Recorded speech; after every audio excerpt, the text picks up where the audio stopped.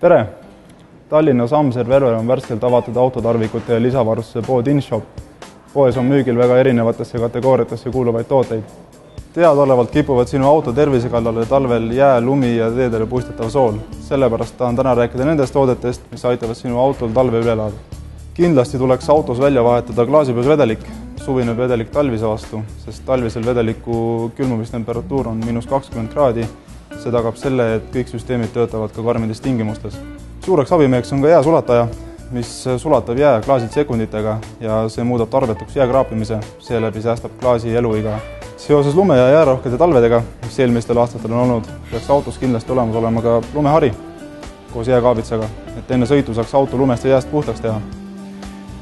karmimates tingimustes peaks olemas olema kindlasti kühvel, et saaks jääd lõhkuda ja lund lükata ja kes elavad lumistes tingimustes, võivad soetada omale lumesokid rehvidele, siis saab lume sees ka liikuma.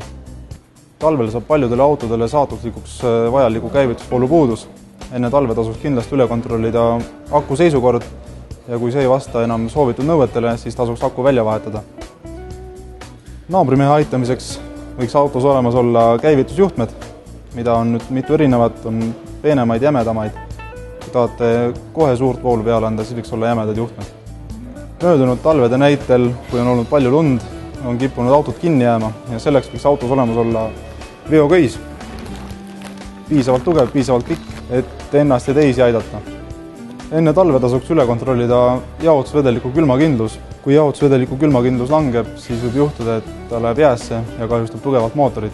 talvel võivad olla täidetud kõik tingimused autoga sõitmiseks, auto võib teil käivituda, Teil võib olla köis, et hangest välja saada, aga kui autosse sisse ei saa, siis on jama majas. selleks võiks olemas olla kindlasti lukusula, mis päästab äh, lukud jäätumisest ja tihendisilikon, mis takistab uste kinnikülmumise. nüüd, kus te olete autosse sisse saanud, auto käima saanud ja autoga hangest liikuma saanud, on oluline ka sõidu ajal aknast välja näha. selleks soovitame ära vahetada kojamehe luuad, et kindlasti tuleb nad enne talve üle vaadata ja vajadusel vahetada nagu näha, saate te oma auto tervise eest hoolitsemiseks ise väga palju ära teha, aga kui te tunnete, et te ei oska või tahate, et seda teeksid spetsialistid, siis võite julgelt pöörduda Amservi professionaalide poole